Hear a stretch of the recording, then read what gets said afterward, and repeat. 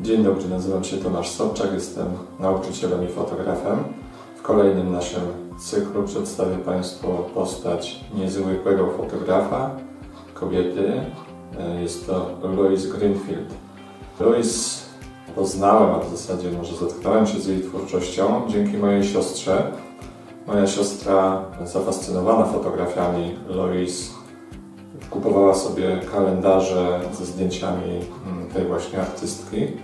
Kilka z tych kalendarzy w późniejszym czasie kupowałem siostrze jako prezent, ale to spowodowało, że zobaczyłem fotografię tej właśnie artystki postanowiłem troszkę więcej się o niej dowiedzieć.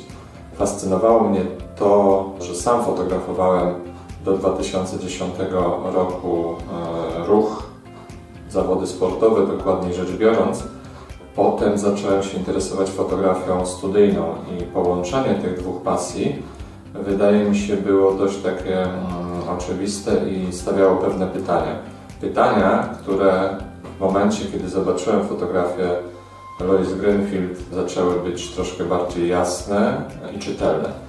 Pierwszą książkę, którą kupiłem, album e, Louis to Breaking Bones. Tu jest 87 fotografii e, zrobionych pomiędzy, e, jeśli dobrze pamiętam, 82 a 90 chyba pierwszym rokiem, więc dość taki selektywny zbiór i wybór. Sama Louise wcześniej e, interesowała się fotografią taką zwykłą, reportażową, od tego zaczynała, ale coś, coś jej brakowało. Nie była z tego do końca zadowolona, publikowała dla różnych magazynów i e, w latach 70. zaczęła fotografować e, taniec. E, współpracowała z różnymi teatrami tańca, chodziło o taniec głównie współczesny. W 1982 roku założyła własne studio i w tym studio do tego studia zaczęła zapraszać tancerzy po to, żeby sfotografować coś, co jest pomiędzy tym, co, o czym my w zasadzie pamiętamy. Dlatego, że jak sama mówi, fotografia ruchu odbywa się na krótkich czasach, to jest y, jedna pięćsetna na przykład sekundy, czyli zachowuje te, to ujęcie, e, ta klatka, e, moment, który zazwyczaj nie rejestrujemy, czyli oko nie dostrzega tak małego wycinka e, czasu. To, ta, to jest ta tajemnica chyba fotografii właśnie Lois i, i pomysłu. Kolejną rzeczą jest to, że ona swoim modelom daje swobodę.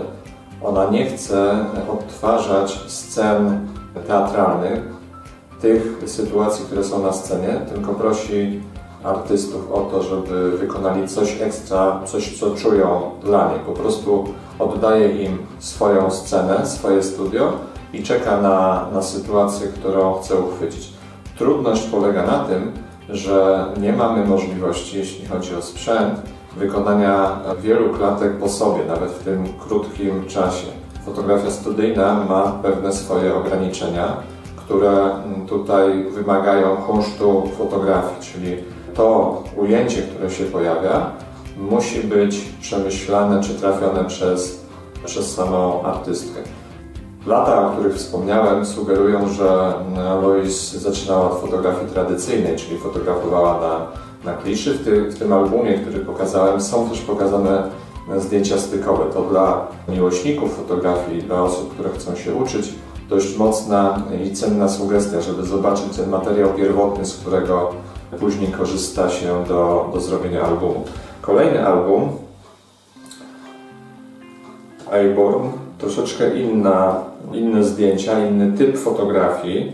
Zachęcam do tego, żeby zobaczyć, poszukać. E, też na stronie artystki e, jest sporo różnych materiałów czy materiałów wideo. Natomiast najnowszym albumem, do którego zachęcam, duży, większy od tamtych album, Moving Still, bardzo ciekawe już takie propozycje, które można zobaczyć, e, jeśli chodzi o realizację Louise Greenfield.